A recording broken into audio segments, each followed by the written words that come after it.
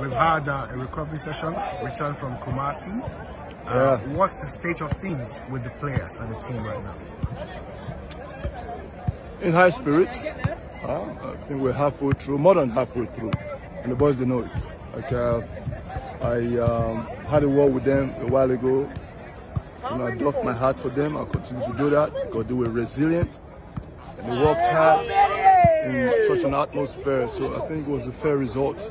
You know, it was very good results Sorry, that we got not fair, very good results. But now some players didn't get involved now because um, one or two had a knock yesterday and recovery training, people that played 90, 94 minutes usually will do just a little bit and then rest.